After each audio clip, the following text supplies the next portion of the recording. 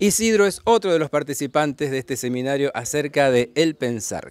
¿Qué tal Isidro? ¿Cómo te, ¿Cómo te fue? Y bueno, aparte de ser muy agradable estar acá en el parque con toda la gente muy linda, eh, fue muy fructífero, la verdad, este, muy didáctico Daniel León, este, eh, y realmente aunque uno piensa todo el tiempo, uno se da cuenta que realmente no piensa, que divaga a veces. Entonces, este, este método te enseña a encauzar el pensamiento, a realmente pensar sin perder el contexto, sin perder el macro y tampoco sin perder por el que empezaste a, hacer este, el objeto de estudio.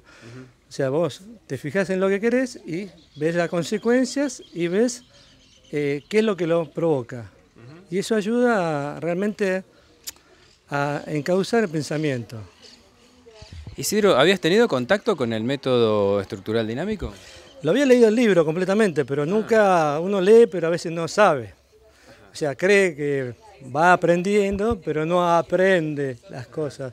Y acá aprendí a aprender el método. No creo que lo sepa totalmente, pero bueno, es un inicio.